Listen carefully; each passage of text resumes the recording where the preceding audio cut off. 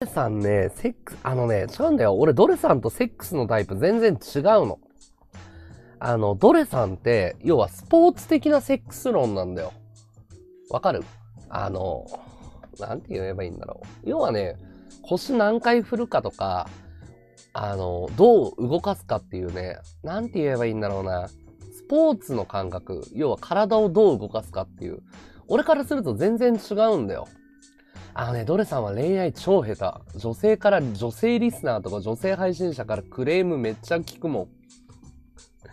あの、パコローとか誘われたとか、もうみ、だから、別にセックス下手ではないのとは思うけど、あのね、めんどくさいセックスするタイプだよ。女の子が嫌な、嫌がる感じだよね。まキルワード2、おはよう。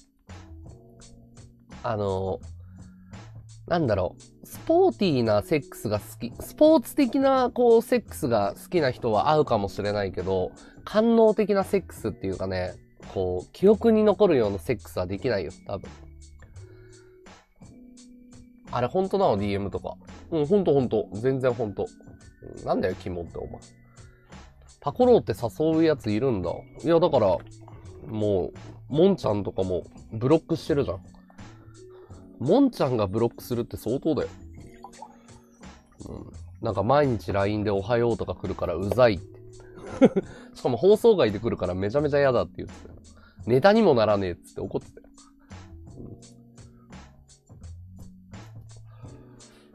うん、はい、若津さつきちゃん。おはよう。しつこいっていうかもう手当たり次第って感じだよね。もう誰でもいいのかよっていう。ジュースオレンジジュースなんだよ。オレンジ。KP。そう、やらちてっていうんだって。まあ、セックス下手ではないけど、俺は、その、なんかこう、なんつうんだろうな。意識が、意識がとろけるようなセックスが好きだから。ドレさんとはセックスの考え方全然違う。AV の見過ぎなんだよ、簡単に言うと。AV とセックスマニュアル本の見過ぎ。ドレさんははっきり言う。もうね、本とか AV で覚えた知識を話したくてしょうがないの。あれはね、偽物だよ。騙されたらダメだよ。コメントに書いてあったじゃん。和道くんの方が絶対セックスうまいって。絶対。そう。思春期の猿ですよ。うん。絶対そうだから。もう誰かが言ってたハウトゥー本を、の、ああ、もう実践的じゃないよ。そんな本番甘くないから。ベッドの、まあ確かにリングの上では強いかもしんないけど、絶対セックスに関しては俺の方が強いよ。だってもう女性が聞いてて弾いてるんだもん。これでわかるでしょ？女性からね、もうすごいとかないんだもん。女性から賛同ないんだもん。俺のさ、あの、セックスの話した時、女性からの賛同がすごいじゃん。でしょ？だから、もう結果は出てるんだよ。女性が弾くってことはダメなんだよ。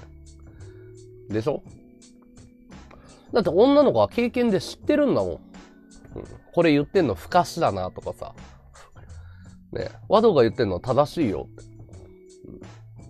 うん、絶対ない。うん、絶対ない。ありえません。もう本とかね、AV で AV でね、獲得した知識をね、披露してるだけだよ。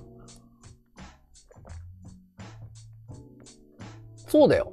セフレが。ね、で、現実そうなんだよ。ね、女性から LINE がめっちゃ来てるとか、ね、コラボが多いとか、付き合った彼女が長いわけでしょ。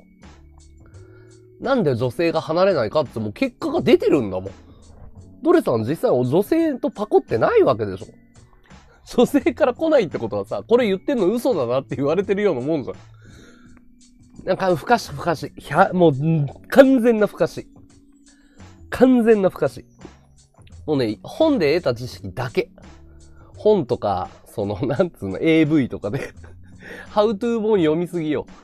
にゃこいらっしゃい。完全に不可視っていうかね、もうひどい。妄想がひどい。もう病気です、病気。お医者さんって、ドクターって、救急車。うん、あれ、本当にひどいよ。経験人数250人、もう不可視でしょ。じゃあ経験人数がさ、250人でなんで今こうなってるのって話だよ。ほっとかないもん。うん。いや、もう、深下さんのから受け継いだよね。ひどいよ、この深しは。マチルダはどつ、いっすいっす。いや、マチルダにね、ステゴロン会場で会えたのちょっと嬉しかったんだよ、俺。どれの深しは可愛いもんですよ、ヨモに比べたら。ああ、そうなんだ。ヨモって人の放送見たことないからわかんないけど。うん。うん。でもね、あのー、なんだろう。俺が女だったらドレさんとはセックスしたくないかも。あのね、ベッドの上でうんちくを垂れるタイプだから。絶対そうでしょ。ここだろうとか言うタイプの。ここだろうって。ここが気持ちいいんだろうって。違うんだよって。もっとこうしてごらんとかね。もうめんどくさいタイプなのよ。めんどくさいタイプ。でしょ？人数よりリピーターがいた方がうまい。絶対だよね。そう。はい、名言出た、マチルダ。はい、名言出た。違くても言いにくい。そう。要はね、女の子の賛同、セックスの話をするときは、男性リスナーが、え、嘘だろって言って、女性リスナーが、これ本当だからって。俺の放送そうなの。セックスの話をしたら、女性が和道さすがとか、分かってる和道ってなって、男性が嘘だろっていうの。逆じゃん。ドレさんの放送逆でしょ？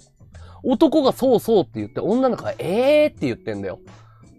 おん、っていうことは、実際体験してるのは女性なわけよ。だってさ、こんだけ言ってるんだよ。ポルチオがどうとかなんだとかなんとかでしょとか、君背低いねとか言って全然外れてんじゃん。そうだよとかないでしょそう、本当に上手い人は離れたくないもん。これが現実だから。これが現実。和道なんて童貞だよとか言ってるけどさ。ねえ。じゃあ、ここだけの話ね。俺とドレさんどっちがセックス上手いか女性全員書いて。あの、雰囲気でいいよ。今までのトークで、俺とセックスしたかどうか別で、ドレさんと和道だったら言ってることどっちが正解か書いてごらんよ。これで結果出るから。なんだったら俺ツイッターでアンケート取ってもいいよ。絶対俺の方が、あの、言ってること正しいと思うもん。絶対正しい。どっちか書いてみんな。どれ、どれさんの方がセックス論正しいか、和道の方がセックス論正しいか。もうね、見てて痛々しいよ、本当に。俺は。アンケ、アンケがないんだよ、アンケが。アンケがない。うん。はい、ワドツーボンちゃん。絶対俺の方がうまい。うん。3センチはマジ。3センチはマジです。どれ50まで童貞こじらせて妄想と現実がわからなくなってる説。あ、いや、若い頃モテたっしょ。それはさすがにないでしょ。うん。あの、あのビジュアルだもん。若い頃はモテたよ。モテた。それは間違いないよ。童貞はないよ。これ童貞だったらくっそ笑うけどね。誰かくのいち忍ばせたいよな。ドレさんとセックス、オッケーだよっていう女の子にさ、ちょっと暴露枠、誰かいねえかな本当に。いや、狂ってるよね。狂気を感じるよね、狂気を。だってさ、じゃあ現実問題なんでドレさんに監督のオファーが来なくて俺に来るんだって話になってくるよ。技術に溺れてこじらせてますね。俺はいつも言ってるけど、セックスっていうのは、あの、もちろんフィジカルな部分大事だけど、問題は心だから。脳みそだから。そう。意識をいかに飛ばすかなんだよ。だからね、もうね、技術、体がどう触ったら猫の猫をトントンするとかね、もうね、何の話をしてるんだって。猫の腰をトントンして猫を生かしたとかさ、もう病気だよ、病気。病気。うん、ないないない。絶対ない。絶対ないよ。うん、それ、ただ猫の盛りの対処法でしょ？もう 妄想と現実がごっちゃごちゃになってるんだよ。猫の話と女性の話は全然違うんだから。分かってないよ。お腹をトントンすると行くとか言って。1分に1回行く女性もいるとか言って。あ、分かってないよ、本当に。もう脳内のその妄想と現実が分かんなくなっちゃってんだよ。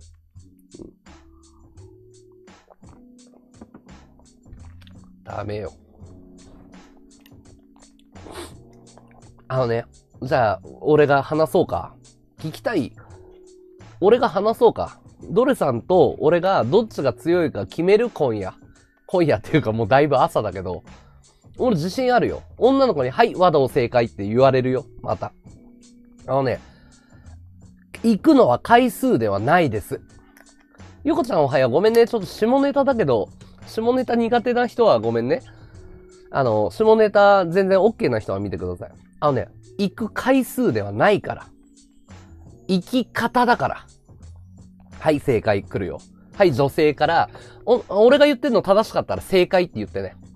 あのね、ドレさんは根本的に勘違いしてる。あのね、行き方だから。うん。あのね、行く回数ではないんです。生き方なんです。要は、行く感度の深さなのよ。これは。うん。はい。ほら。正解でしょ？マチルダ。はい、来た。正解でしょ？うん。ドレさんは、俺は100回でも行かせる。2日でも行かせる。時間の長さ、回数ばっかり。違うよ。ほら、正解でしょ？もうね、これだよ。これだよ。正解でしょ？これがドレさん根本的に間違ってんの。女の人から正解って言われてんだから。で、自分語りでペラペラペラペラ俺のセックスはすごいって、それは女に寄りつかないよ。だって間違ってる理論女の子の前で、おす、あのね、本当に言いよ。本当に言いよ。うん、本当に言いたいよ。そう、ぐーってきて、もうね、い、俺はいつも言ってるんだけど、生き方なんですよ。本当に。で、浅い生き方、要はね、女性のオーガズムの構造をいつも話してるの。男性のオーガズムっていうのはゆっくり言ってドピュなのよ。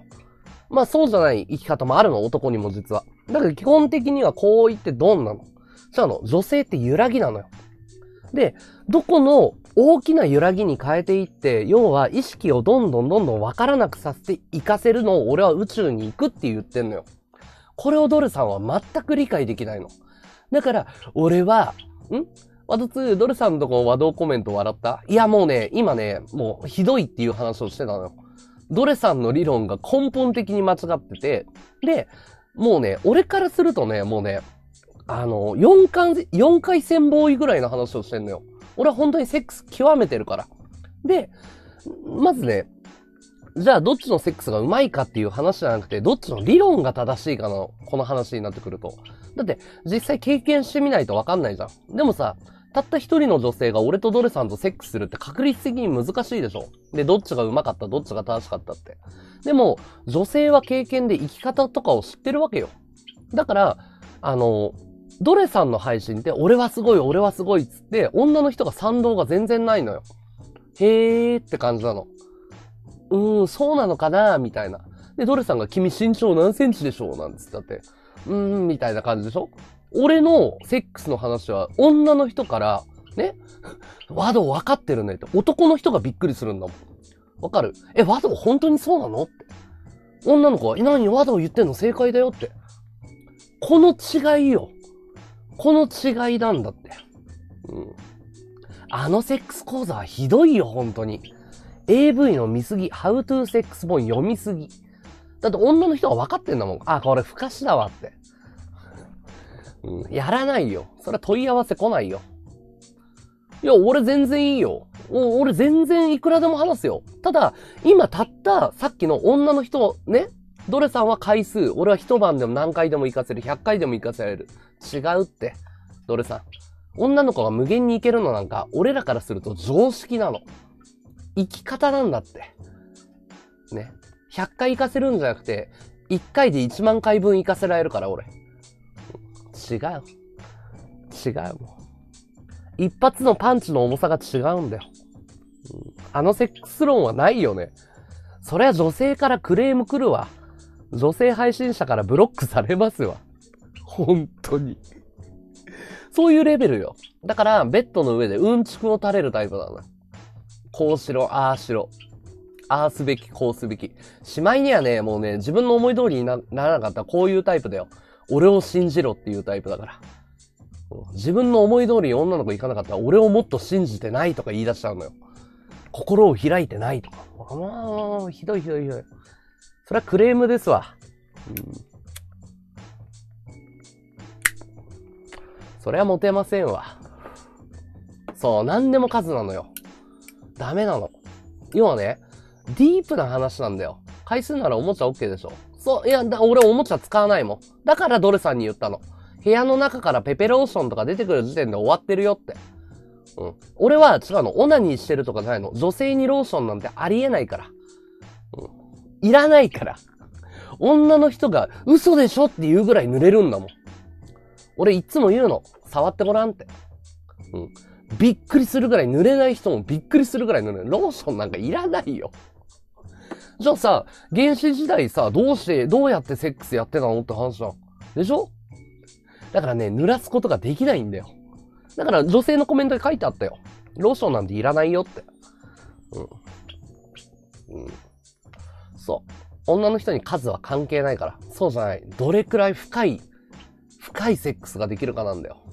うん。いや、ここは譲れない。ここは絶対譲れない。なんでかっていうと、俺はこれでここまで来た配信者だから。いや、ふっかけられたんだよ。ドルさんに。俺の、これは俺のステージだから。うん。かくんはどつ。頭湧いてるから自分の思考が全て正義になっちゃうんだよ、あの人は。うーん、ちょっと痛々しかったな、今日の放送は。だって、女の子から、だってセックスの話聞いてて、女の子がクレーム出すってコメントでだよ。なかなかないよ。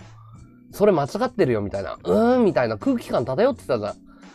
うん。これピエロだよ、ピエロ。うん。いや、ロ、ね、ドルさんがふっかけてきたんだよね。俺の AV 監督デビューに対して、なんか、悲願だんだろうね、多分。なんかあんな童貞に負けたくないみたいな。悔しかったんだろうね。うん。使う相手がいないでしょ。うん。ローション使うときは下手くそなやつの時だけでしょローション満タンだった？もういいよ。もう部屋からローションとかマシンが出てくる時点でもう俺からするとさ、だってさ、だってさ、例えばさ、格闘家に対してさ、ね、この拳銃すごいんだよとか道具自慢始めないでしょ？このボウガン強いよとか。いや、技磨けよって話だよ。道具はねえだろ。うん、ファイターが。ファイターが道具自慢始めてんだよ。おい、見てくれよ。このグローブいいんだよ。つって。このグローブさ、って女の子の前で始めちゃったんだよ。ないでしょ。うん。ないわ。うん俺 AV 監督のデビューが決まりそうね。まだ確定ではないけど、ほぼほぼ決まり。今進めてる。うん。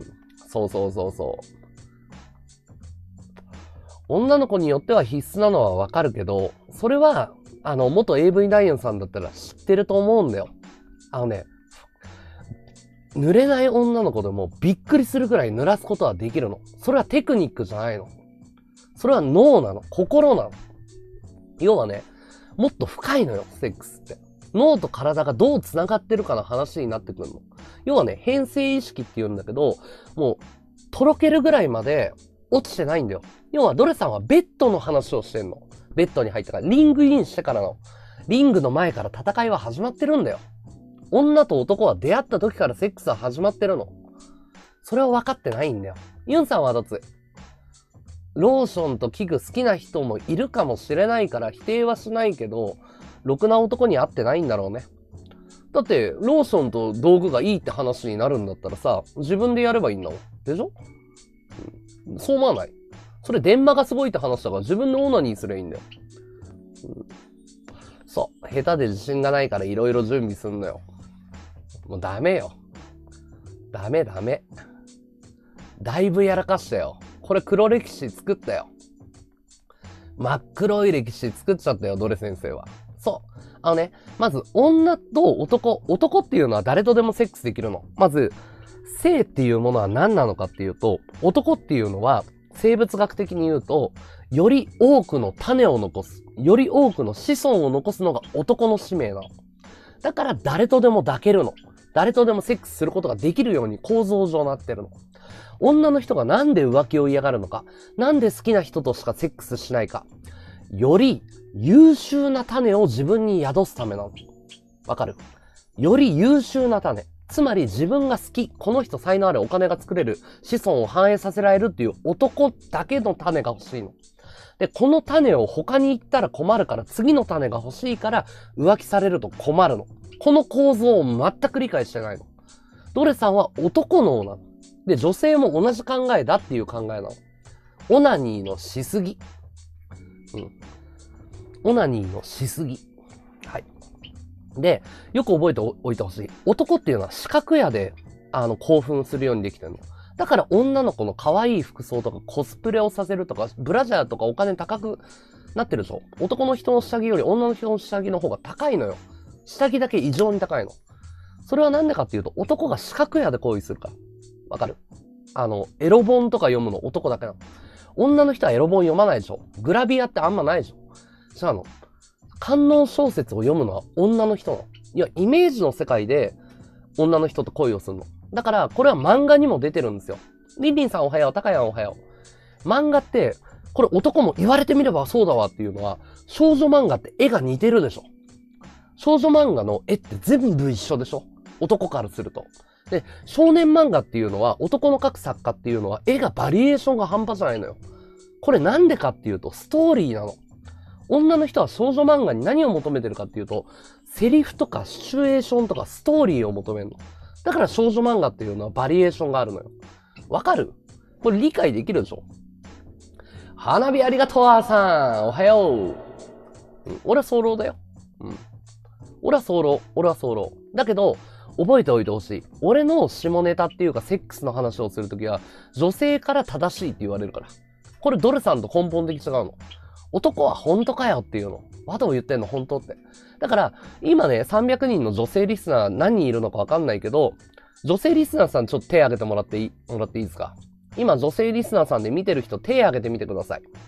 はい、俺今からドレさんにどんどん反論をしていくよ。ドレさんにどんどんこれ間違ってる、これは合ってるってやっていく。その中で、俺が女性目線でね、今までの女性の体験談で、和道が言ってること正解だったら正解って書いてください。OK? 和道が言ってること正解だったら正解って書いてほしいの。これなんでかっていうと、男のリスナーとかドレさんとかってわからないの。経験がないから。だから、女目線で、和道言ってること正解だよって、セックスの話これ、和道正解だよって言ってくれた時に初めて男は気づくのよ。あ、これが正解だったんだって。和道が言ってんの正しかったんだって。だから、あの、俺がセックスの話で、はい、和道正解って書いて。正しかったら。うん。それを今、ドレさんがロムって見てるから。うん。ドレさんに教えてあげよう。セックスっていうのは。うん。不正解っていうかね、反論を書いてほしい。不正解の時は。うん。不正解の時は反論を書いてほしい。うん。例えばね、女の人が電気を暗くする理由ってわかる女の人がライトを暗くしてっていう理由知らないでしょ知ってる？女の人をライト、電気暗くしてって。あれ恥ずかしいからだけじゃないんだよ。知ってた？ワドさん正解ありがとう。あのね、実を言うとね、男を気づかないかもしんないけど、正常位になって電球が眩しいからっていう理由なんだよ。それもあるんだよ。あと、その明るいところで電球がこっち側に当たるから、すごい自分は眩しいの。男が見てる目線より。だかで、すごい恥ずかしい目線で見られてるのよ。相手が下の方にいるから。だから、女の人からすると眩しい。この照明のライトだと眩しいから全部見えちゃうっていう理由で余計恥ずかしいの。男はね、だから下になってこういう風にやってもらう。いかにライトが眩しくて、その目線下から見られてるっていうのがいかに恥ずかしいかなのよ。確かに、正解でしょ？でしょ？女の子は、だから正常位の目線から見てライトを消してほしいっていうのはあるのよ。だただ恥ずかしいからじゃないの。女の子の目線で見てあげないとダメなの。うん。クラインの枠でオナニーできる。正解。要は、男の配信で、なんでみんな、あの、イケボ配信って画像なのかっていうと、イメージだからなんだよ。ゲームもそういう構造なの。自分のイメージで保管したいの。うん。だから、女の子のイケボ系っていうのは売れるんだよ。わかるでしょ？正解って書いてね。正解って。ドルさんは試合放棄。みんなおはよう。もうね、分かってないんだよ。で、あのね、はっきり言う。ドレさんはセックス下手です。もっと言うなら、本番が下手です。本番、あ、本番が下手じゃない。前儀が絶対下手。前儀が下手。要はね、セックスって俺毎回言ってんだけど、セットアップなんですよ。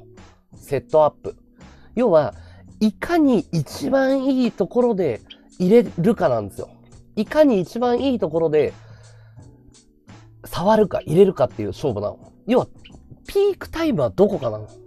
いつも言うんだけど、男の人っていうのは、こういう風に言って興奮がピュッっていう感じで興奮がピーク。その後冷めるの。女の人は違うの。こうやって揺らぐの。興奮してちょっと冷めるの。興奮してちょっと冷めるの。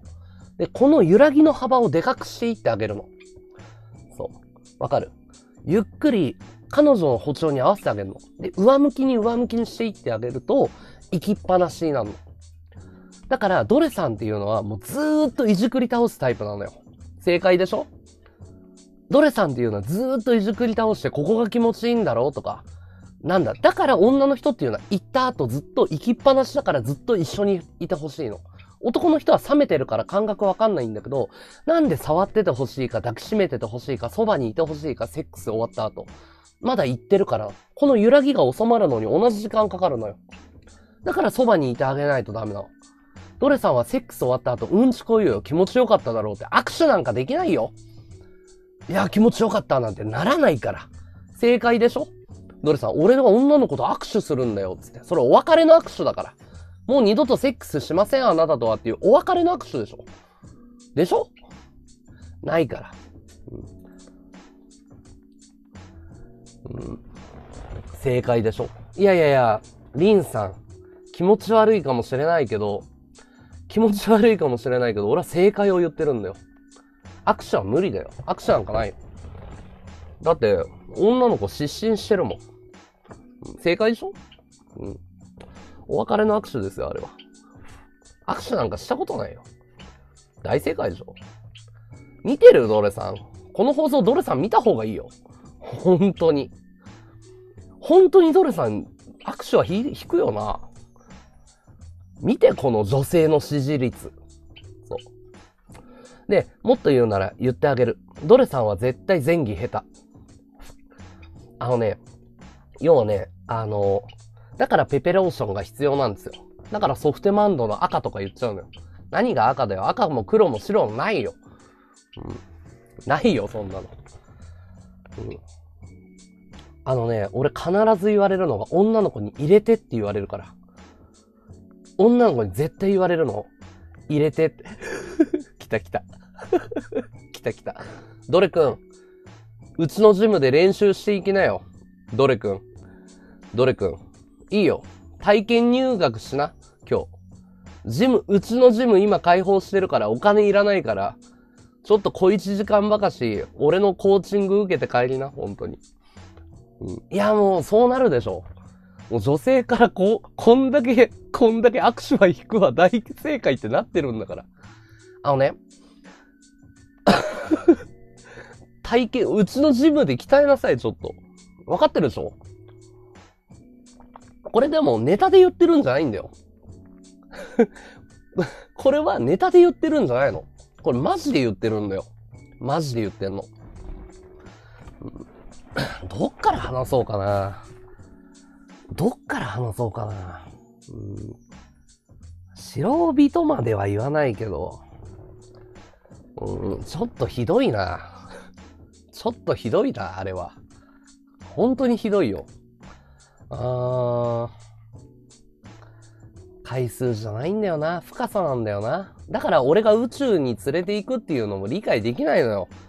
理解できないの、トルさんは。なんだ宇宙ってってなっちゃうのよ。うん。うん、じゃあ、女性から全然質問も受け付けるよ。その、どうすればいけますかっていうか、その、どう、どういうセックスの悩みがあるって。ドレさんの話、ネタじゃないから厄介なんだよ。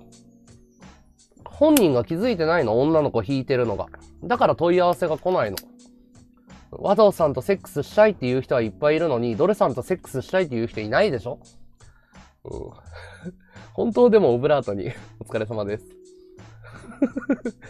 うん、聞いてる聞いてる、うん。どうやったら濡れやすくなる？ああ、いい質問だね。一番いいのはいい男と出会うことだよ。間違いなく言えるのは。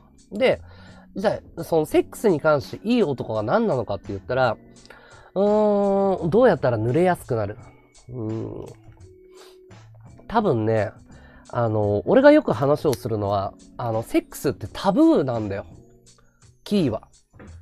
あのね、女の子ってやっぱりセックス下手な男ばっかりに会ってるから、セックスで嫌な思いをしてることがすごく多いの。その、いけないとか、行ったふりをするとか。でも、ドルさんが言ってて本当っていうのは、その、横隔膜の動きであったりとか、足の、足とか声のトーンで大体気づくのよ。その、本当に感じてるかどうかっていうのは見えるのは見えるの。まあ、ドルさんが分かってるかどうかは別問題。で、あの、濡れないっていうことは興奮してないんだよ。マリアンそうでしょ？だよね。多分、興奮してないの。カノンいらっしゃい。これ正解だと思うよ、女の人。興奮してると濡れるのよ。簡単な話、手繋いだだけで濡れるから。あの、上手い男がいたら。要は、さっきも言ったけど、シチュエーションに対して興奮するの。女性っていうのは。だから、冷めてるでしょ。だから、俺がマリアンと、もしお付き合いをして、セックスするする機会があったとするなら、マリアンに、こういう。普段どんなオナニーしてるのって。マリアンは、普段、どんなオナニーをしてるの。教えてって。わかる？これがキーなの。女の子は自分でオナニーするとき行くんだよ。男の時だけ行かない人多いの。これはどういうことかって。それをなぜ聞くのかっていう話ね、カー君。男の人でしょ？カー君。勉強しよう、一緒に。あのね、女の人で自分で行くけど、男の時行かないっていうのは、あの、要はね、男がその人の興奮するスイッチを押せないの。やばいでしょで、これはちゃんと聞くの。ね、冗談じゃないって。君、どういうシチュエーションでって。いや、電車の中で痴漢されてるので興奮するとか、いろいろあるの。うん、で、その子のトリガーを引いてあげるの。トリガーをカチャって引くの。うん、要は、見られて興奮するタイプなのか、その、犯されるレイプ願望、好きな人にしか犯されたくないんだけど、その無理やり犯されたいとか、いろんなシチュエーションがあるの。で、その時に俺が言ってあげるの。例えば痴漢されるのだったら、見られるのが好きだったら、今見られてるのを想像してって。今たくさん見られてる。それとも今から外でセックスするって言ってあげるの。わかる？見られるのが好きな人にはだよ。で、犯されたいとか、後ろから無理やりやられたいっていうのは、後ろに回ってあげて同じことやってあげるの。そう。で、そこから始まるのよ、まず。要は言葉のセットアップでセックス始まってんだよ。正解だったら正解ください。はい。女性の皆さん、あの、ドレさんに教えてあげないといけないから、女の子が正解って言わないとわかんないから。男の人はいいです。正解だったら正解ください。不正解だったら不正解でいいですよ。絶対そうなの。女の子はオナニーの時行くの。必ず。正解で。はい、ありがとう。そううん。ね。男ども見てる？こういうことなんだよ。こういうことなの。そう。参ったな。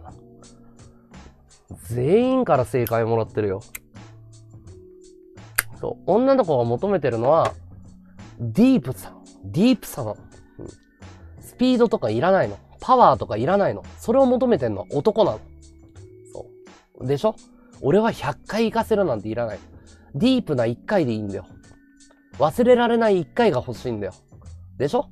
ありがとう、正解。ありがとう。うん。ドレさん勉強になったね。忘れられない1回を探してるんだよ、女の人は。うん。100回行ったってつまらない男はつまらないんだよ。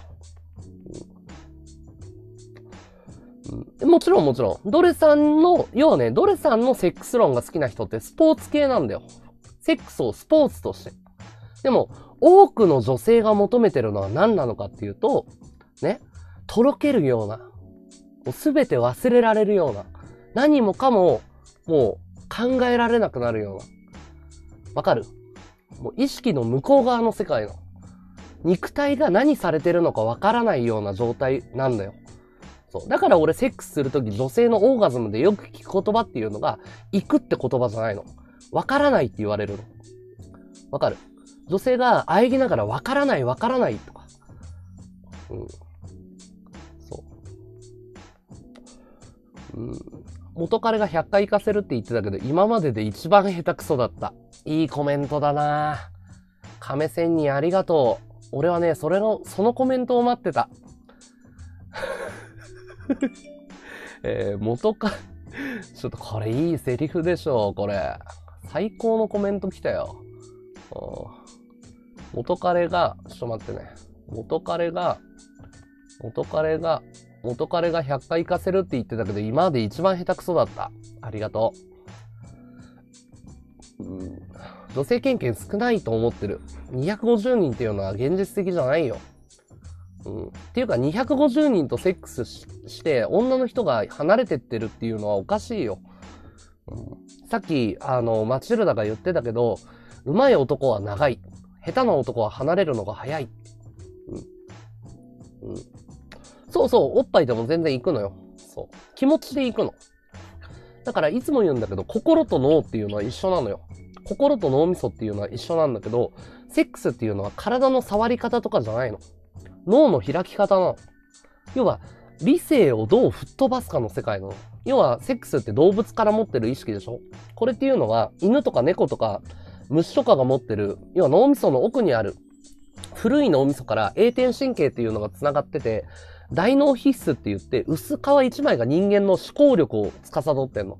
でもこの栄転神経っていうのは、セックスとか息をするとか、排泄をするとかいう基本的なところから出てる神経なんだけど、実はそう、大脳皮質と繋がってるの。つまりこれ何が言いたいかっていうと、イメージの世界で女性は何回でもいけるようになってるのよ。このイメージの世界っていうのを理解できない限り、ああでもない、こうでもないって体いじくり回されたら嫌だよ。女の人は。それ100回言ったふりするよ。そう。脳域とか理解できないんだよ。浅いんだよ。だから脳、そう。シェレンの言ってる脳域っていう言葉が俺の宇宙なんだよ。そう。うん。どれはネットのその、そう、さっきも言ったんだけどね、マザーさんね、どれさんは AV の見過ぎと How to 本を見過ぎ。うん。それを語ってるだけ。要は体験じゃない。うん。カッチンおはよう。うん。ある程度ダメ男でも離れたくなる。うん。俺はさっき言ったのそういうことね。下手だと苦痛でしかない。そう。で、本当にうま、あのね、まずね、セックスが上手い、セックスが下手っていう表現が間違ってると思う。俺は。セックスが上手い、セックスが下手っていう表現が女性的じゃない。女性目線じゃないのよ。それ男目線なの。要は、俺は上手い、俺は上手いって言って、男に対してマウンティングを仕掛けてるだけなの、あれは。でも女性はそんなこと気にしてないの。どれだけその人と交われるか、まぐわれるかっていうか、その、心と心が繋がれるかの手段なんだよ。でしょ？そう。その人のことが好きで好きでしょうがなくて、どうしようもなかったら、触られただけで濡れるよ。AV 監督やるって本当だよ。正解でしょ？本当に好きな男だったらテクニック超えるんだよ。本当に好きだったら童貞でも超えるんだよ。この人と結ばれたいっていうだけで濡れるから。正解でしょ？うん。正解でしょ？俺、任せて。あの、ドレさんみたいな、恵まれないセックスをしてる人に教えてあげるから、俺が AV で。うん。うん。そう。相性だけじゃないんだよ。本当は男性はそういう風に女性をエスコートしないといけないの。うん。この日セックスするんだっていう空気を漂わせてあげないといけないの。私多分今日この人とセックスしなきゃいけないんだってデートをするときに、もうドキドキが止まらなくさせてあげないといけないの。ドレさんは違うから、出会った瞬間に俺とパコローって言っちゃうんだよ。だから女からすると濡れないんだよ。違うでしょ？うん。一週間前、二週間前でもいいよ。俺は、雰囲気でそれは悟らせるんだよ。感じさせるんだよ。2週間後にセックスするってすごい興奮しない？予感がするっていう、セックスの予感がするってどう女性？興奮しない ?2 週間貯めて貯めて貯めて。私多分この日に行って。でしょ、初めて泊まるときに2週間前からホテル取っておいていて、この日こういう理由でっていう理由をつけてあげるの。女性がホテルに来やすいように。でも違う、ドルさんは飲んで、この後パコろうよ、ホテル行こうよって言っちゃうのよ。ダメ。絶対やらない。予感が一番興奮するでしょ。うん。やろうじゃないの。今からセックスしよう、キスしようなんて言わないから。うん。うん、どれさん分かった？マジキモいどれとか言って。いいね、なんか。うん、ドルさんボコボコだね。はい。じゃあ、あの、ドルさんがね、そろそろボコボコになったところで、えー、皆さん、もしよかったら花火かアイテムお願いします。フォローがまだの人はね、フォローよろしくお願いします。ぜひ、女性リスナーさん、フォローしてください。ドレさんのセックス論がいかに間違ってるかをね、あの、今話してた。マジキモいドレとか言って。あのね、女性の気持ちがわからないんだと思う、多分。ドレさんは。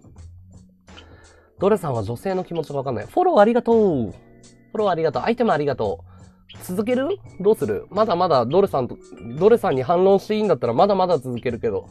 フォローありがとうね。フォローありがとう。フォローありがとう。今日、あ、ノーネームさんいいね。名もなき歌のサムネだね。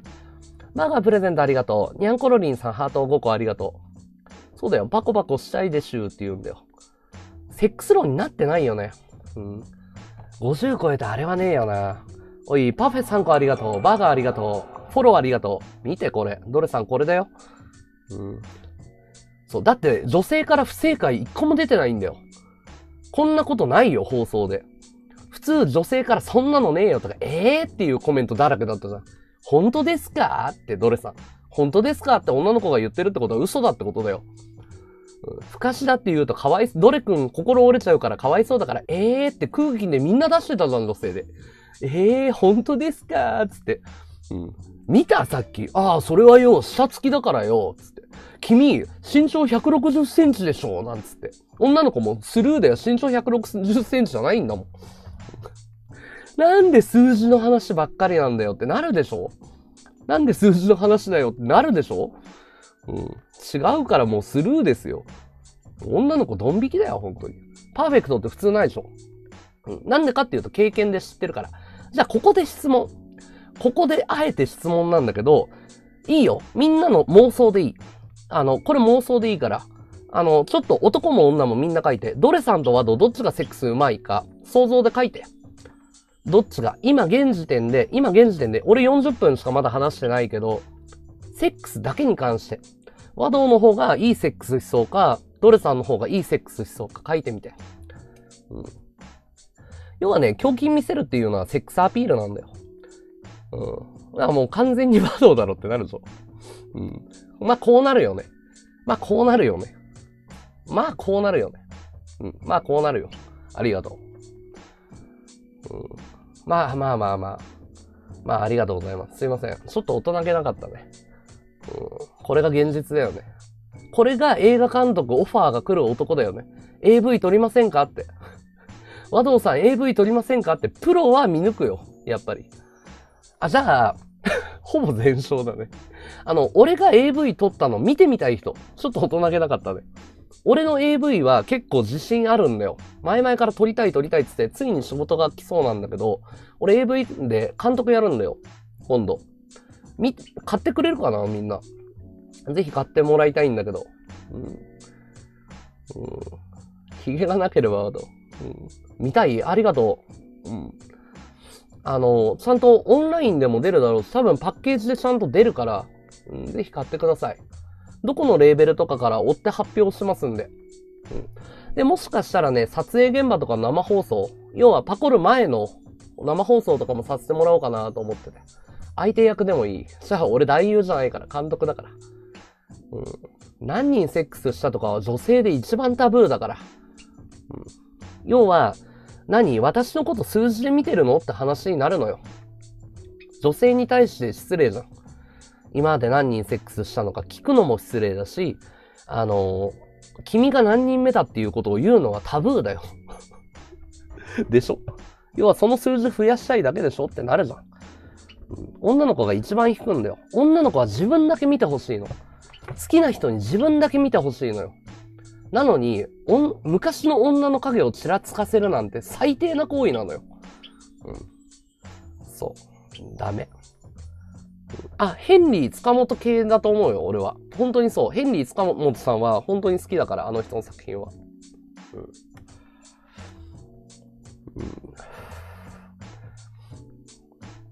うん、おはよう、マニア。おはよう。うん、多分もう耐えられなく今日は多分ない、ない、どれさんもう、いてる。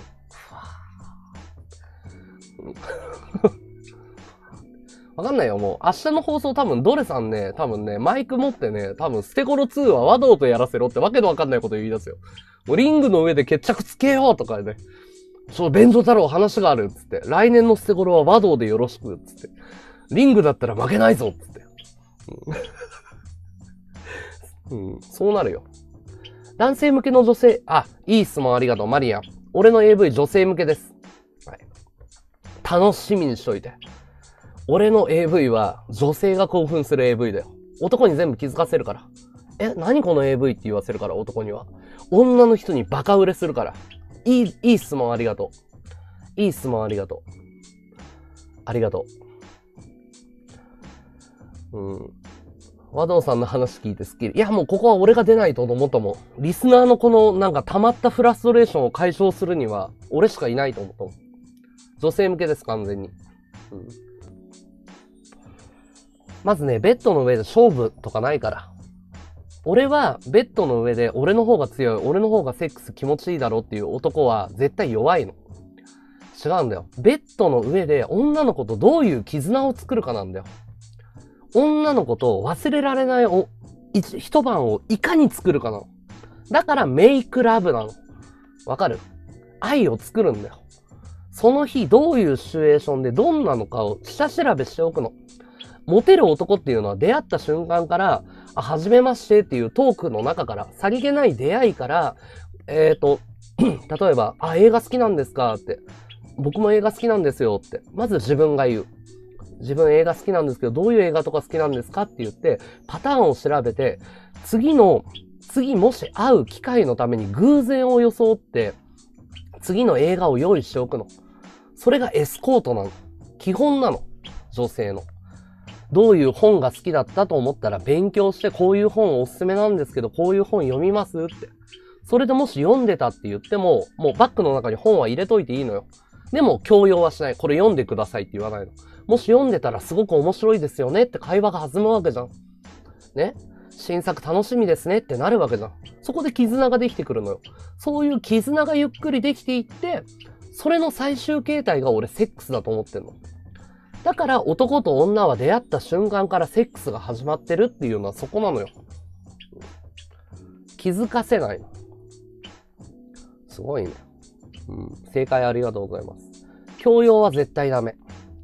なんでかっていうと、女の子はプレッシャーが一番嫌だから。うん。圧力かけられると恋もできないの。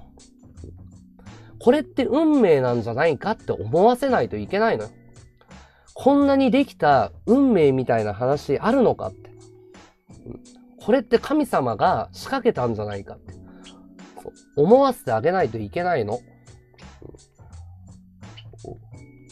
私この人と出会うために、この人と出会うために生まれてきたんじゃないかって思わせてあげないといけないのが恋愛なの。ダメよ。うん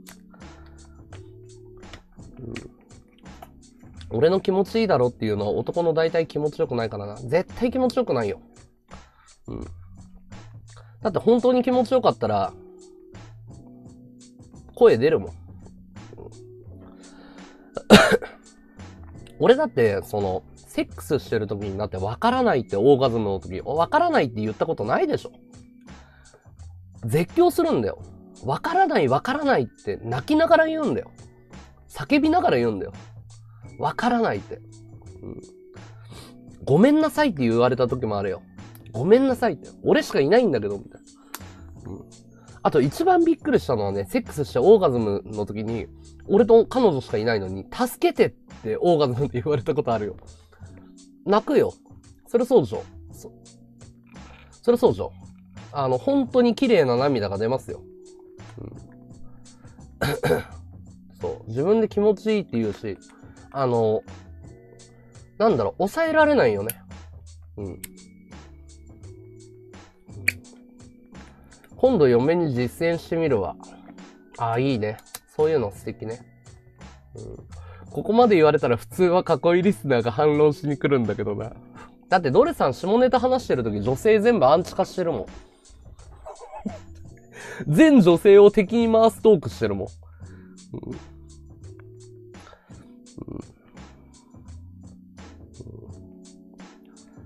気持ちいいだろうはダメだよな。うんうん、セックスの話の時だけはドレさんもうドン引きされてるもんね。残念だよな。おかしくなるとか言われた。ああ、いいね。香ばしいね。香ばしいね。うん、そう。恥ずかしい言葉が勝手に出てくるんだよ。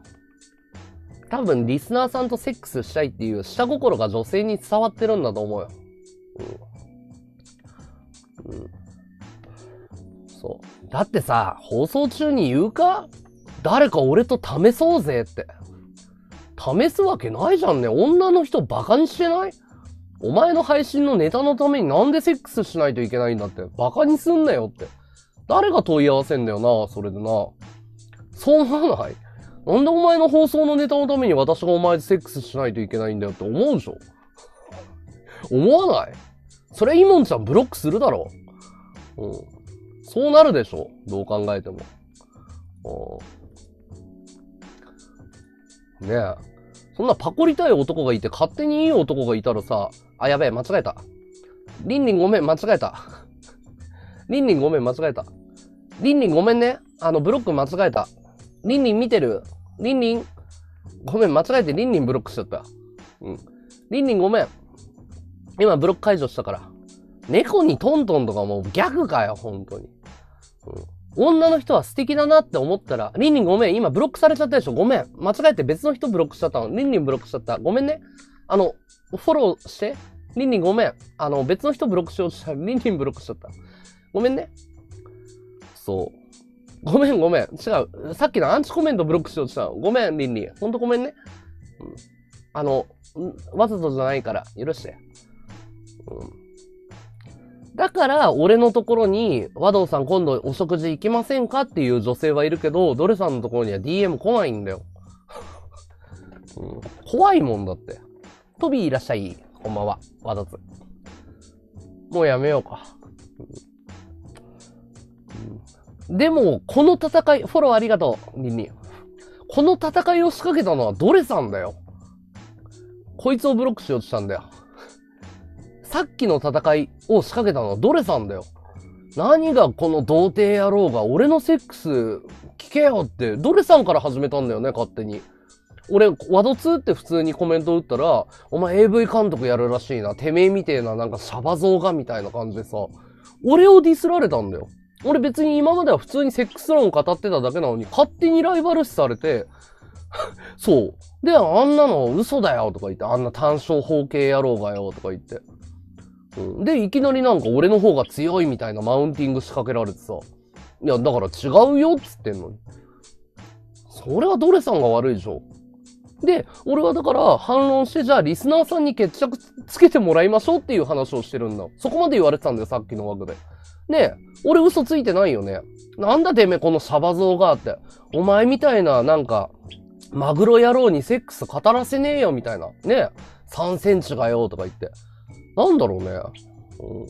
うん。どれさんから仕掛けてきたんだもん。これはだから俺は正式に反論するよ。うん。いや、俺は単焦包茎早漏っていう三大成人病にかかってるから。単焦包茎早漏だから。単焦包茎早漏なのに正しいこと言ってんだよ。うん。うん。いや、敵味方とか関係なくとかじゃなくてさ、あれはひどいよ。不可視だよ、不可視。何がマグロ野郎だよ、お前。どこがマグロじゃっていう。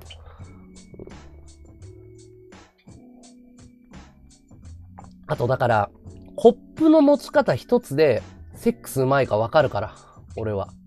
このコップ触ってみって言っただけで、今度ドルさんに仕掛けてみ。このコップを触るだけでセックスうまいかどうか女性はわかるから。これマジだよ。仕草でわかるの。セックスうまいかどうかって。や、俺ドルさん AV 男優なんか使わないよ。うん。あんな。そんな女優さんがかわいそうだよ、お前。ここ気持ちいいだろう、なんつって。最後終わった後握手しようなんつって。バカじゃねえよ、本当に。握手なんかさせねえよ。女優に触るなっていう。うん、なんだ握手って。何を言ってんだろう。はい、カットだよ。うん。カット、カットだよ。うん。ね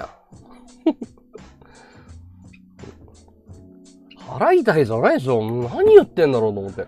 俺猫をトントンしたらっていう話から俺びっくりしちゃったもん。なんか猫をトントンしたらなんだかんだっつって。それ、それただその、猫の盛りでそのトントンしないといけないのは常識なの、猫飼ってる人からすると。メス猫が発情した時にトントンって押さえてあげるのは別の話ね。何の話をしてんの？なんかポ、ねえ。ポルチオ性感帯とか地球が降りてくるとか言ってさ。そんなの、お前、ハウトゥーボーン読みすぎだよ。そんな常識なの？ドレさん。うん。熱血男優賞をあげたい。うん。なんだろう、さよならの握手なんだよ。女性から多分お別れの握手なんだろうね、多分。もう二度と、もう二度と会いたくないですっていうね。なん、なんだ握手って。そう。他人のセックスは笑うなっていう映画があるぐらいだから。その通り。エッチなんか人と比較するもんじゃないの。いい言葉、本当に。うん。うん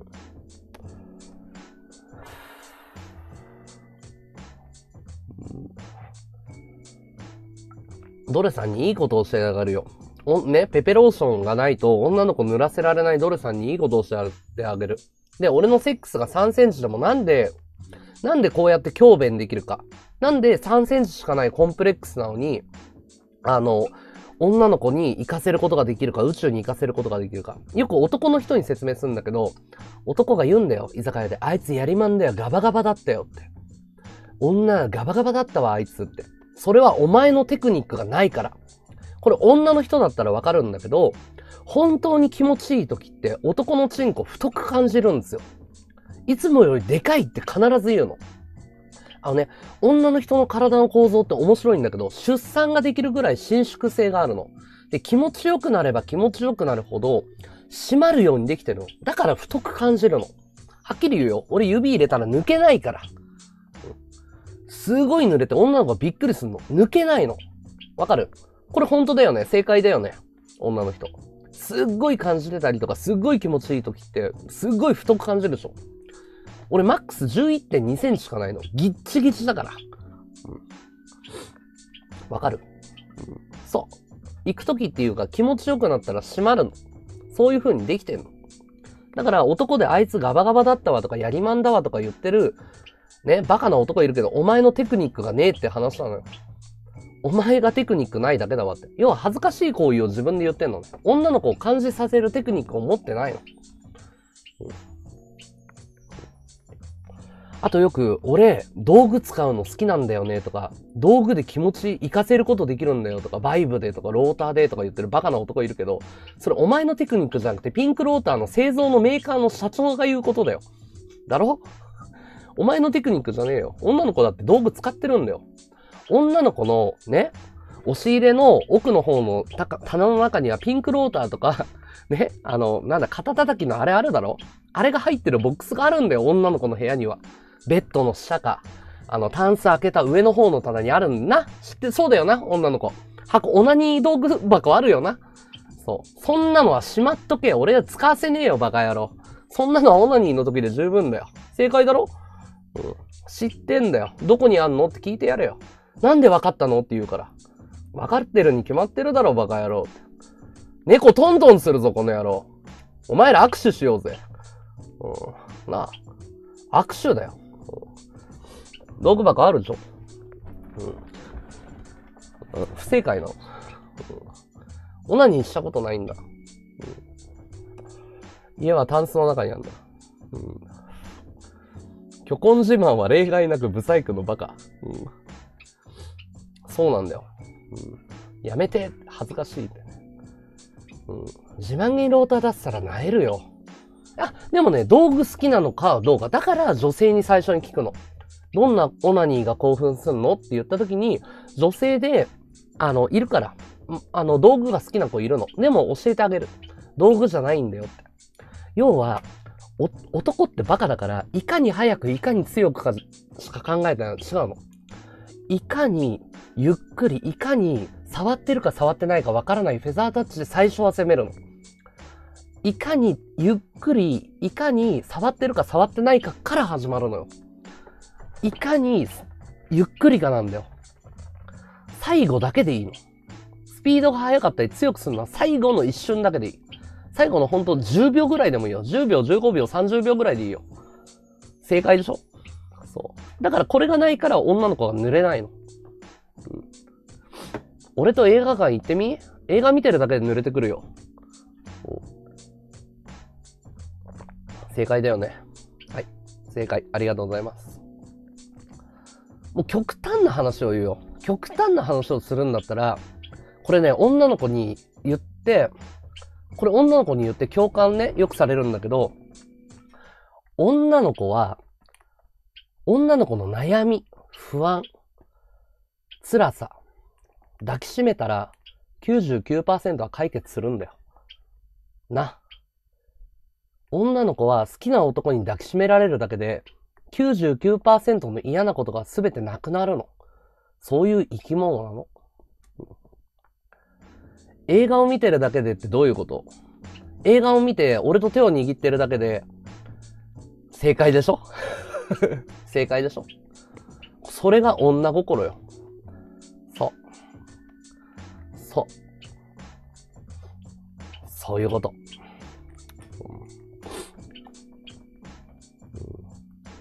大正解ありがとうございます。ありがとうございます、本当すごい女子率だね。男性リスナーいる？大丈夫？窓惚れたわ。ありがとうございます。強くより抱きしめたい。うん。あ、抱くより抱きしめたい。あのね、じゃあ、じゃあね、これ男の人にも今度話すよ。うん。あの、男の人にも女の人にも話す。最高のセックスって何か教えてあげようか。男も女にも使える最高のセックスって教えてあげようか。最低のセックスと最高のセックス。ああ、旦那に見せたくなってきた。ああ、全然見て。タイムシフト残すから。うん。ホモ心もね、忘れないと。だから俺、ロハコさんと友達でいられるんだと思うよ。俺、ロハコさんを女性として扱ってるから。ねえ、ロハコさん。そうだよね、ロハコさん。ロハコさんがゲイだってカミングアウトしてから、俺はロハコさんを女性として扱ってるの。これができないんだよ、他の男は。だから女心わかんないの。ロハコさん気づいてるよね。俺がロハコさんのことを友達だけど、女性として扱ってんの、実は。歩く時も、ごめんね、早くてって。ゆっくりで大丈夫とか、女性のように。ね。だから、ロハコさんは、あの、俺に変なことしないの。要は手出したりちょっかいしたりとか。女友達と接するように一緒にいるから。うん。あ、ブロックされたの？あのね、最低のセックスと最高のセックス聞きたい。これね、男の人にも女の人にもたず、あの、当てはまることの。あくびちゃんいらっしゃい。こんばんは。こんばんはじゃないね。おはようだね。いや、あんまりさ、ドレさんにディスられまくったからさ、ちょっと反論してやろうと思って。悔しかったから。うん、最高のセックスと最低のセックスの話をしようと思うんだけど、最低のセックスを教えてあげる。じゃあまず最初に。最低のセックス、女性が嫌がる、男性が嫌がるセックスっていうのは、自分がいかに気持ちよくなるかだけを考えてるセックスの。わかる？男だったら、女の子に自分が気持ちよくなる。例えばそれは、俺の、ね、君に気持ちいいだろうとか、俺の手間気持ちいいだろうって、気持ちいいって言わせたいの。男の、その、願望を叶えるために、だからそういう凶暴な言葉を吐くし、何々しろとか、もっとこうしろっていうセックスなんだよ。うん。でしょ？だけど、それが最低のセックス。女の子もこうされたい。男もこうされたいっつって、受け身受け身になってるセックスって最低のセックスなの。でも、最高のセックスってどういうことかっていうと、女の人が男の人を気持ちよくしようっていうことだけを考えてる。逆に女性、女性目線、女性のみんなに聞きたいんだけど、男がその女性、自分のことを気持ちよくすることだけを考えてるセックスって嬉しくない？嬉しくない？うん。どう思う？それが最高のセックスなんだよ。相手をいかに気持ちよくするかだけを考えてる、夢中になってる行為なんだよ。うん、絶対嫌だ。イサさん。うん。どう、うん、嬉しいよね、そう。それができないんだよ。今の男って。それができなくなってるんだと思う。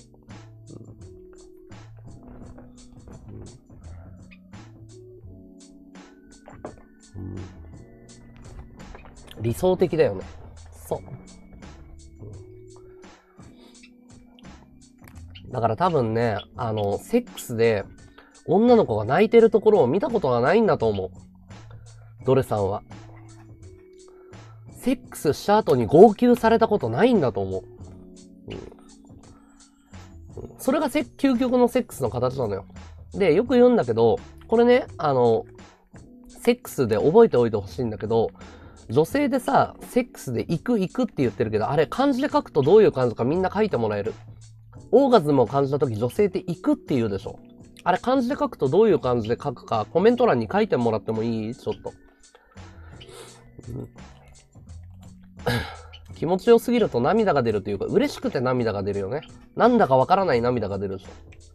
そう、行く。ビッグありがとう。リサちゃんありがとう。そう、みんな行くでしょ。これ、どういう意味か知ってるみんな。これってあの世に行く時の行くなんだよ。これは死後の世界に行く時の行くなの。日本語として正しいよね。で、アメリカ人のオーガズムって、カモンカモンっていうの。よく AV、アメリカの AV とか見ると、オーガズム感じるとき女性ってカモンカモンって言うでしょ。アメリカ人の死生観って、イエス・キリストが降りてくる。イエス・キリストが迎えに来るとか、天使が迎えに来て、あの世に行くの。これと同じように、宗教学的に見ると、女性のオーガズムを研究すると、死に関、死死に関連する言葉っていっぱいあるの。オーマイガーってオーマイゴッドだから。でしょ？でしょ？そう。死に関連するワードを言うの。ね、セックスって、こういうことなの。この人と死んでもいいって思える人としか女性はセックスしたくないってことなの。正解でしょ？この人とだったら一緒に死んでもいいと思って初めてセックスするんだよ。覚えておいてみんな。これ絶対正解だから。うん。正解でしょ？だから、行くなの。大正解ありがとうございます。うん、嫁が泣いた時子供ができた気がする。ああ、いい話だね。うん、そう。だからみんな覚えておいて。この人とだったら死んでもいいなって思う人とセックスしてください。うん、この人とだったら一緒に死ねるかもしれないって。それはこの人とだったら一緒に生きていけるかもっていうことと同じことだから。うん。うん。いや、そういうこと言ってないよ、ヨキさん。うん。まちゃんのお姫様ありがとう。で、もしね、共感してくれる人はね、あの、ぜひフォローしてください。ありがとう、リサちゃん。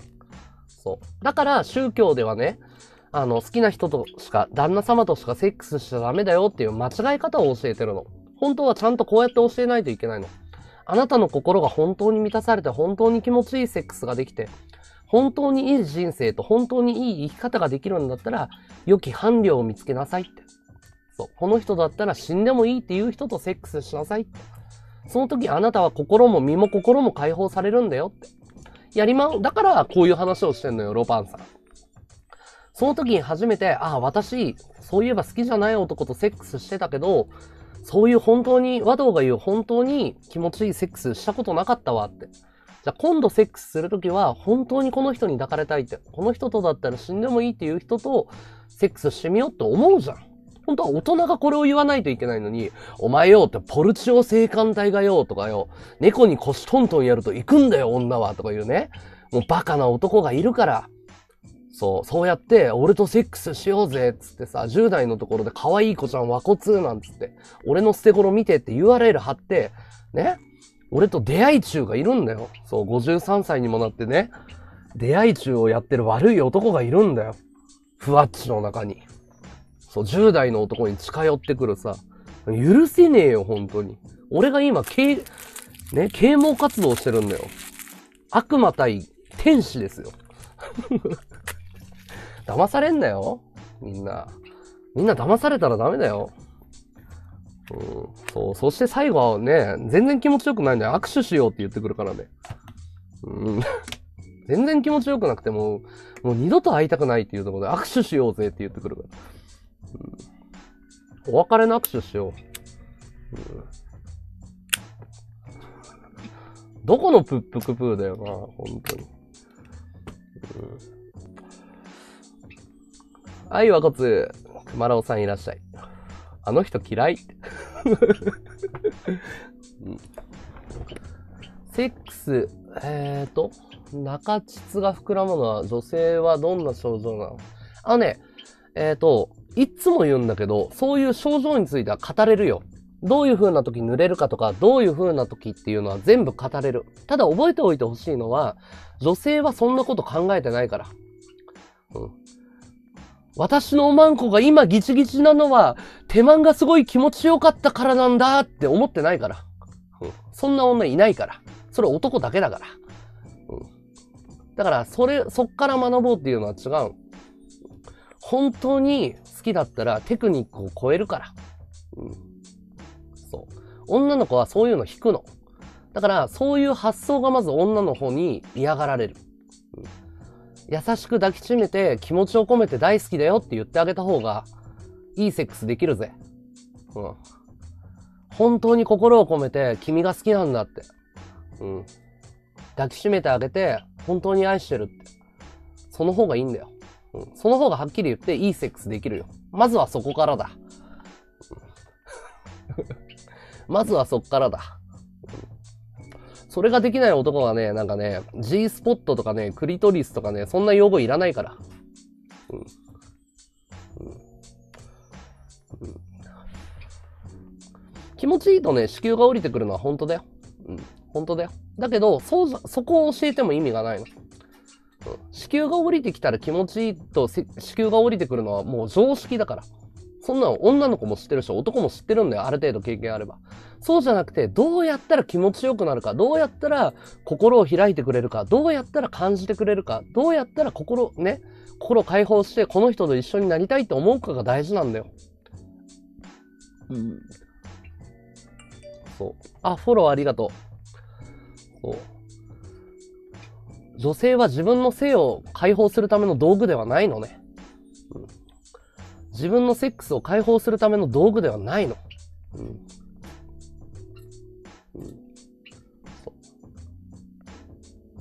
和道さんに AV 監督の話が来て、ドレさん相当悔しいんだろうな。フォローありがとう。もしよかったらフォローしてください。すげえな、76分喋ってる。もしよかったらアイテム、あの、いただけると嬉しいです。アイテムで生活してるので、もしよかったら応援してください。アイテム分をちゃんと申請？申請って何の話だろう？プリプリさんいらっしゃい。うん。どれはうなちゃんマンにディスられ和道に？なんて読むんだろう、これ。うん。反論があるなら明日のどれさんの放送みんな見よ。あの、これは明日のどれの深夜食堂が楽しみだよ。もう聞きすぎて多分セックスの話もうしなくなるぜ、どれさん。ドレさんは多分セックスの話しなくなるぜ、トラウマで。おせんさん風船10個ありがとう。まきるさん、青まきるパフェありがとう。おせんさん、初見さんかな？アイテムありがとう。うん。ドレさんさっき言ったけど配送した。うん。にゃこさん、風船10個ありがとう。さっきコメント打って、なんか、あの、全員女性リスナー全員ブロックなっていう謎のメッセージを残してさって言ったね。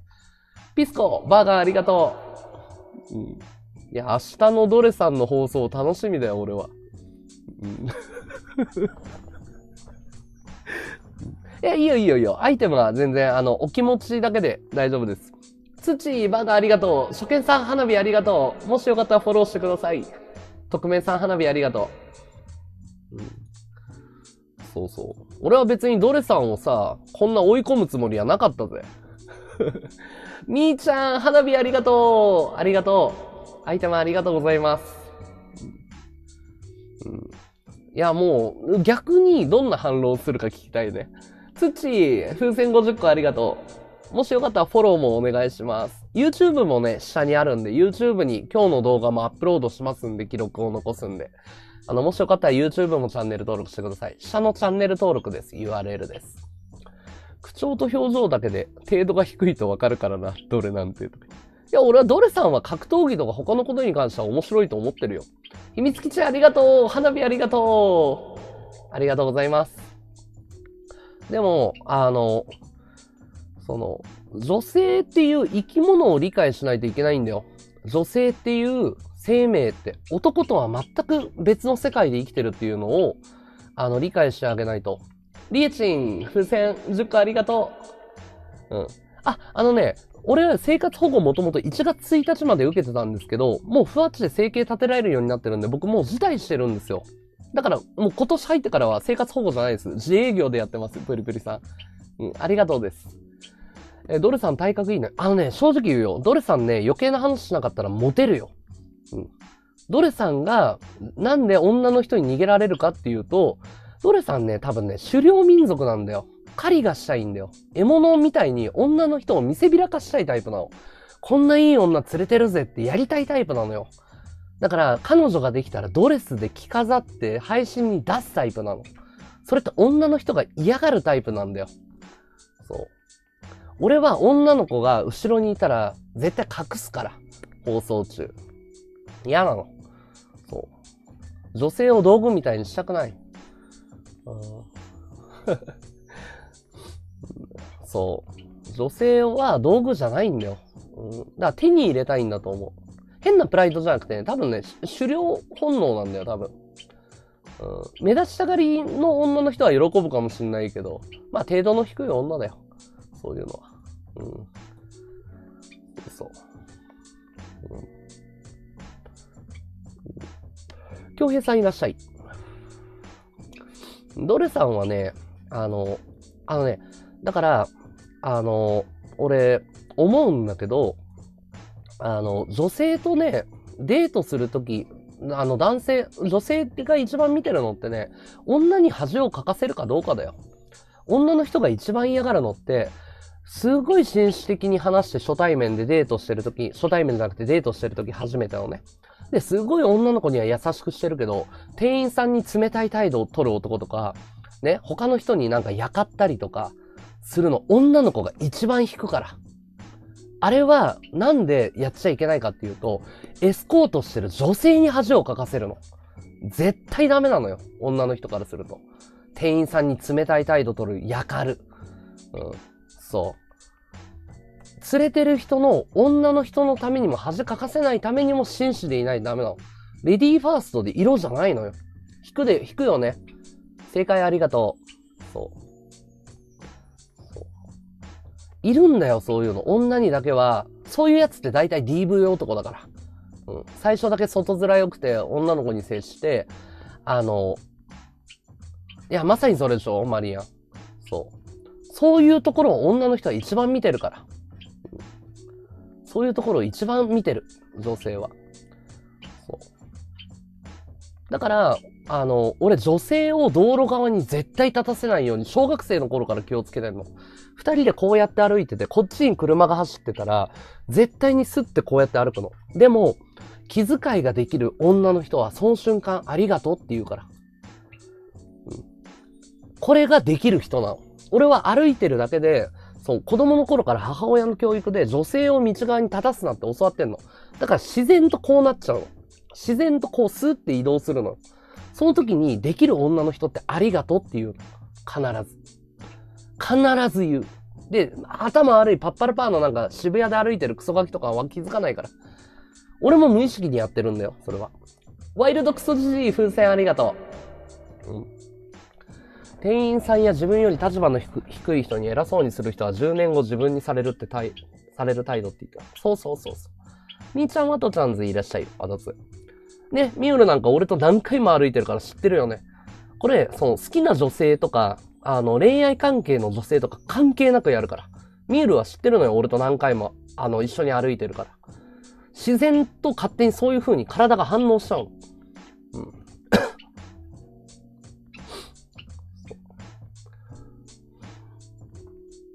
ミュールはオフ会で駅まで送ったりとかしてるから。知ってるんだよ。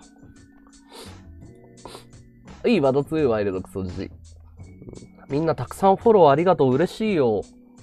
なんか女性からね、ありがと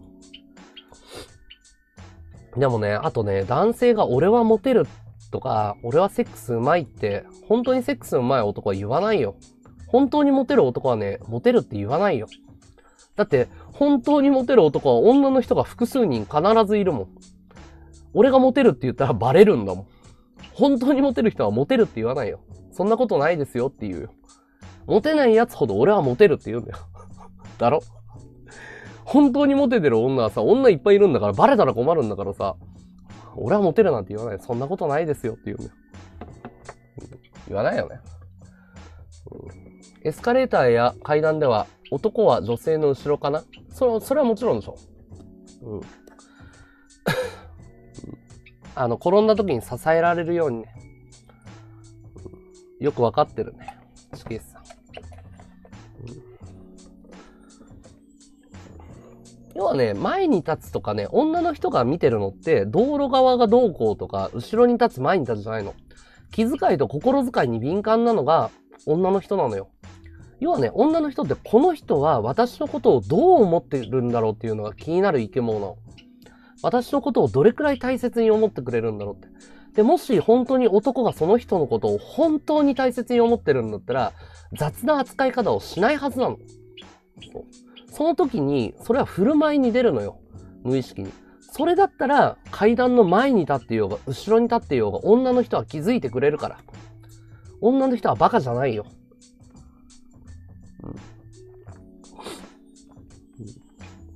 女の人はバカじゃない。そういうところはすごく敏感に見るの。女の人が、男はね、理屈で浮気を、あの、嘘を言うの。俺は何時何分にどこにいただろう会社にいただろう会社に電話してみろよなんで俺が浮気してるって言うんだろうって。でもね、男ってバカなんだよ。女の人っていうのは理性は確かに理屈っていうのは苦手かもしれないけど、実は四角屋の、えっ、ー、と、嗅覚の期間であったりとか、えい、ほっこりお兄さん、わだつ、匿名さん花火ありがとう。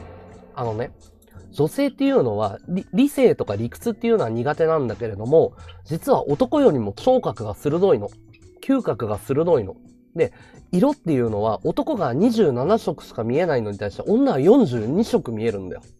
なんで女の勘っていうのがあるかっていうと、男はね、理屈で嘘ついてる時にね、顔が少し赤くなったりとか、要は口調が速くなったりとか、普段より。うん。なんで急に怒ったんだろう。あ、この人嘘ついてるっていうのが見抜けるんだよ。それはもう、だんだん科学的に分かってきてるの。そう。あ、いいこと言うね、リニー。素晴らしい。女の人は耳で恋するって。あのね、女性でセックスするときに一番大事なことの一つって、なんて声をかけてあげるかなんだよ。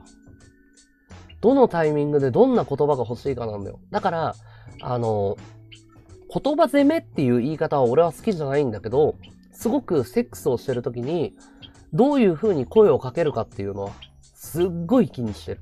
でね、イケボってどういうことかなんだけど、これ覚えておいてほしいんだけど、あの、イケボって作れるのね。実は。あの、イケボ配信者っていっぱいいるでしょ。俺みたいなこういう高い声ってダメなんだよ。だから、実は女性向けにマイクをここに当ててるでしょ。わかる？あの、で、すごい、あの、ゆっくり喋るとか、ちょっと俺滑舌が悪いからピシャピシャ言っちゃうんだけど、あ、あ、あ、あのさ、って。あの、声優さんとかってさ、こういう喋り方するでしょ。要はね、耳元で囁くってこういうことなんだよ。あのね、女性って低音域の音に惚れるの。男性の。低い音。音。だから耳元で囁くときにゆっくり低音の声で囁いて、囁くと、あの、すごく興奮するのね。それ、それは男性らしさを感じるポイントなんだよ。うん、そうでしょ。うん、下手な真似はやめろ。すいません。いや、誰かのモノマネっていうわけじゃなくて、絶対にやってあげるよ。あの、イケボ配信者ってすっごい小さい声で喋るの。あ、あ、あ、お前らさ、そろそろ行きたいんだろうみたいな。わかる？なんでかっていうと、マイクのボリュームをでかくしてるからなんだよ。マイクのボリュームをでかくしてるから、小さい声で喋らないと、あの、マイクが広いすぎるからな。だから、イケボ系の配信者ってこういうトーンで喋るはず。あ、あ、あ、何々いらっしゃいみたいな。わかる？いや、これを画像でやるんだよ。こういう風に。こう。わかる？でも、そういう構成でしょ？大体。いらっしゃい。なんとかくんとか、あ、あ。いや、でもさ、えそんなことないよ。みたいな。わかるでしょ？俺が言いたいことはわかるでしょ？でも。言いたいことはわかるでしょ？でも、そこに女性が集まってオナニーをしてるわけですよ。じゃあじゃあじゃあ、それ本能なのか？いや、キモ、じゃあ例えの話よ。俺がどうかっていう話じゃなくて、そこに需要があるっていうことはそういうことなんだよっていうことを言いたかったの。そう。うちの旦那は100年の恋も冷めるくらい声高い。x ジャパンのボーカルにしよう。亡くなった母が、えー、親父の電話の声が好きで結婚した。あー、いい、いいな、なんか。いい話だな、なんか。すごい、なんか女の人っぽいっていうか。すごいなんかいい話。男の人にはわかんないだろうね。男は逆に女性に言ったらね、女の人のセクシーって何なのか教えようか。あの、色気がない女の子っているでしょ。女の子にとってのセクシーを教えてあげようか。男が好きな仕草。うん。あのね、これはね、あの、これはね、クロスさせることなんだよ。動き。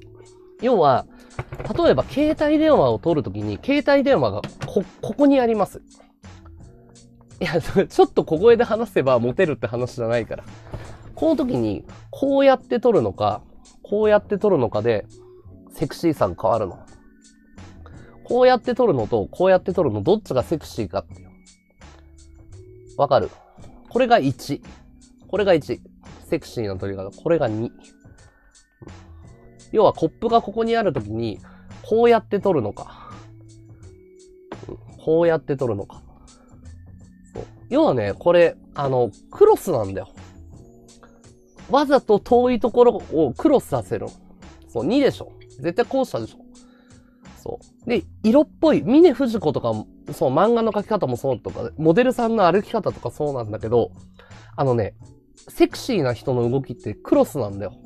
これ覚えておくといいよ。色っぽさが足りないって言われてる人とかって、そう、動きなんだよ。クロス。あ、あのね、これは心理学で結構有名なの。だから、ほんまでっか TV で、あの、俺が覚えたわけじゃなくて、あの、ほんまでっか TV とかに取り上げられるのはわかるもん。デュークサライエじゃない。足もクロスさせるっていうか、モデルさんの歩き方ってこうじゃん。うんわかる多分、こう歩いたらセクシーじゃないでしょ。もうこの動きでセクシーさを感じないでしょ。でも、こう歩くと、こう、こう、わかるこう。わかる、うん、そう。だからね、潜在的にね、色っぽい人っていうのは、あの、セクシーに動くんだよ。うんやりたくても関節がバキバキか。うん。うん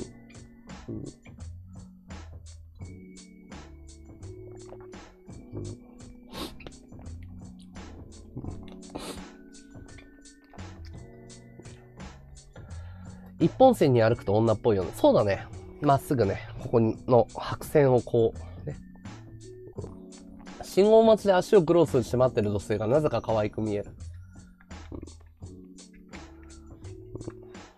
だから後ろに手をクロスさせてバッグ持っても可愛いじゃん。うん可愛い女の子って可愛い仕草をするんだよ。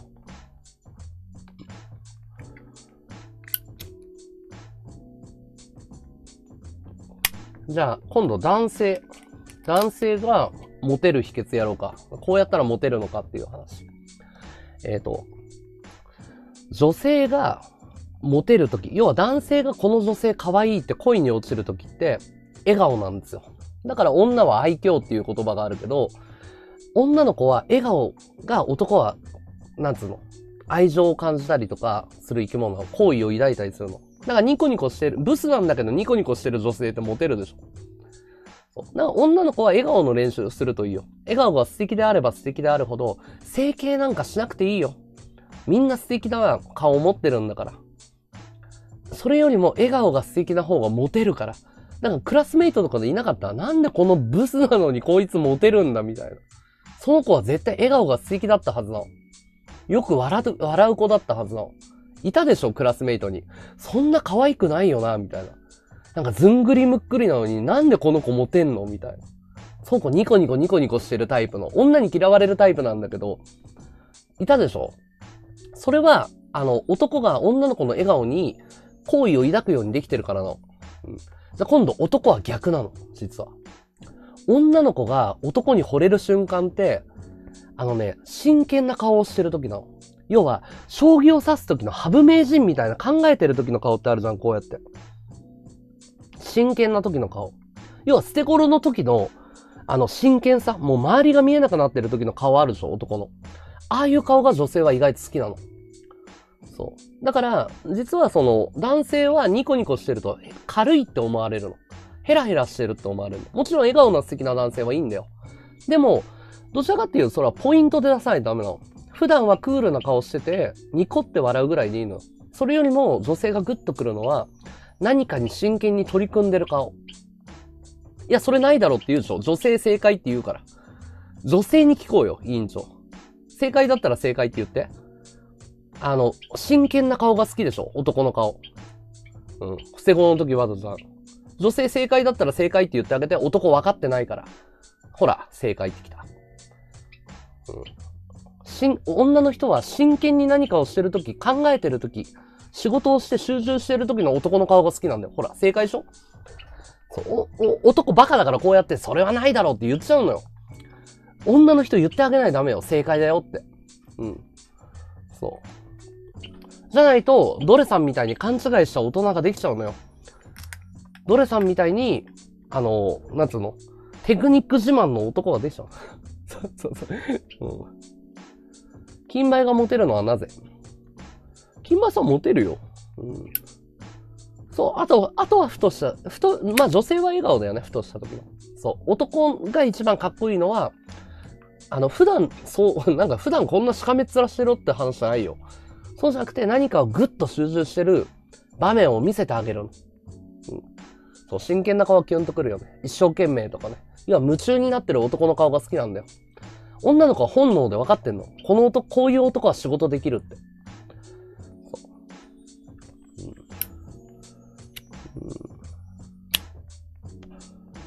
女の子は最高のタイミングで最高の笑顔ね。女の子は最高のタイミングで最高の笑顔。うん。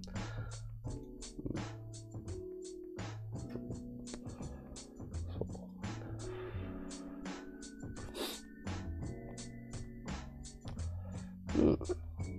女の子はね、耳、耳っていうかね、もっと正確に言うとマッシュポテト、イメージ。妄想の世界が好きなの。音ももちろん好きなんだけど、音じゃないの。男の人ってエロ漫画が、漫画を見てもらったらわかるけど、女の子をすっごい可愛く描くのよ、曲線とか。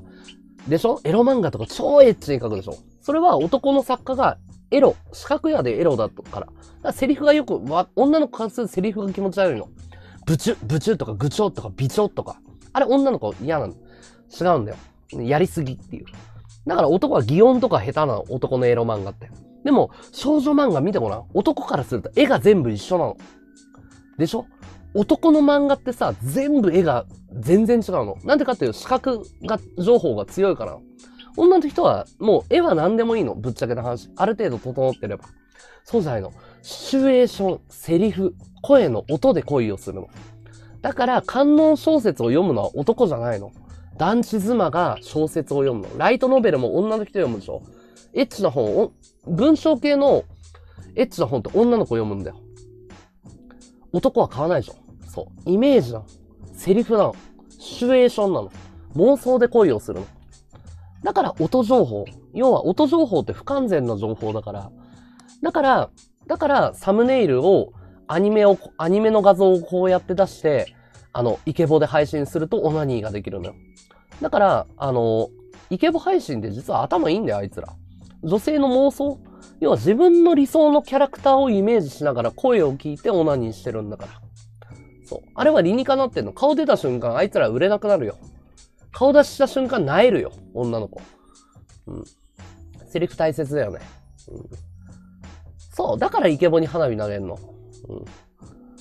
だから、イケボ配信者の花火の数は女の子が行った花火の数だよね。行った数だよ。行った回数だよ。だクラインとかすごいよね。700万分円、700 万円分近く行かせてんだもんね、1ヶ月。島子さん、こんにちは。うん。うん、そうそう、耳で恋するっていうのは妄想も含まれてるの。だから、あの、さっき言ったね、一番最初に言ったこと。どんな想像でオナニーしてるのって。君の妄想を叶えてあげるよっていう話なの。ハート9個ありがとう。普段どんなオナニーしてるの？って。自分でするとき行くんだから、女の子。それを超えさせてあげる。俺が。君の妄想は、あ、その程度なんだって。そんなの叶うよって。その先に連れてってあげるよって。うん。そういうこと。うん。うん。それが男性の役割なんですよ。うん。電話でするのもありだけど、できればね、だから、俺は、その、俺とセックスした女の人っていうのは、宇宙に行くっていう話をいつもしてるんだけど、馬鹿にされてんの、ドレさんに。なんでかっていうと、ドレさんはわからないから。これだけ話したらだんだん分かってきたでしょこれだけ話したら、女性だったら、あ、和道が言ってた意味だんだん分かるかもって。セックスって女の人って大きく分けると3つの生き方があるの。3つの生き方。これは、あの、3番目これは大きく分ける3だと思ってる人多いんだけど、俺はいつも言ってんの、7番目。7個あるんだよって。で、みんなは頭の3個、クリトリス、G スポット、あの、中行きってやつね。この3つしか知らないけど、俺は7個知ってるの。ただ、7番目を出したことはないんだよ。俺は。6番目しか連れてったことがないの。女性を。なんでかっていうと、6番目っていうのは宇宙に連れて行くことができるの。だから俺とセックスするともう失神してるのね。だから握手する余裕なんてないのよ。俺は。そう。じゃあなんで7番目出さないのって言ったら、7番目は女の子が死んじゃうからなんだよ。7番目のセックスっていうのはもう死んじゃうの、女の子が。セックスした瞬間。